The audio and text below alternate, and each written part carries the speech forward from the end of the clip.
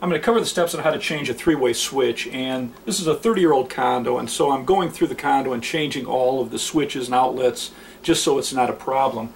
And if you have two switches that operate one light, you have a pair of three-way switches. And if you look at uh, the three-way switch, it is not marked with on or off.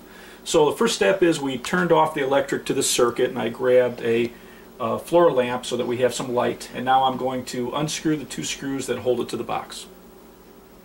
So in this box we just have one cable coming into the box and we have one hot wire going to the common screw and then we have two hot wires as our travelers and these are connected to the two light colored screws.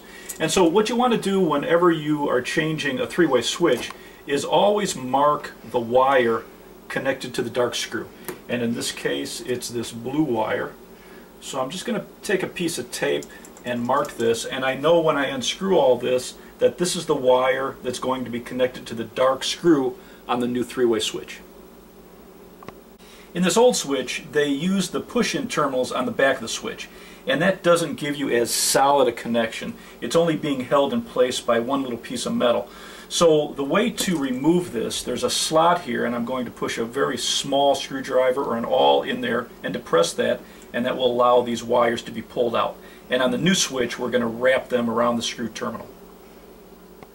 Now that I removed the old switch, you can see that the wires are stripped about a half an inch. And what we want is we want about three quarters of an inch of the insulation stripped so that we can create a nice little hook for the screw terminals on the new switch. So what I'm going to do is take a wire stripper and I'm going to strip these back to about three quarters of an inch on all three wires.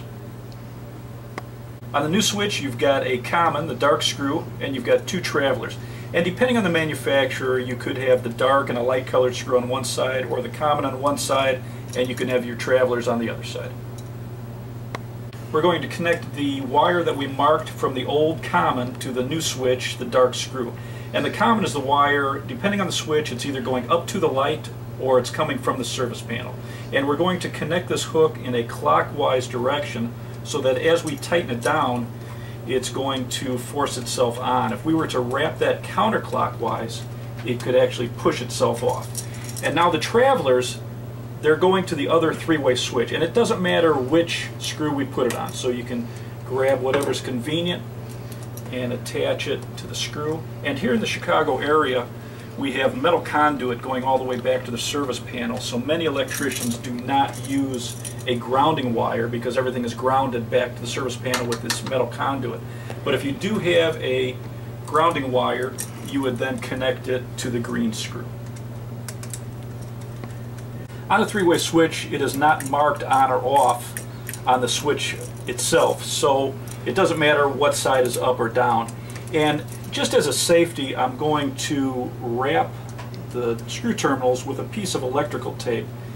And because we have metal boxes, this is just going to protect somebody in the future. If they did not shut off the electricity to the circuit and they pulled it out, they could actually uh, short it against the metal box.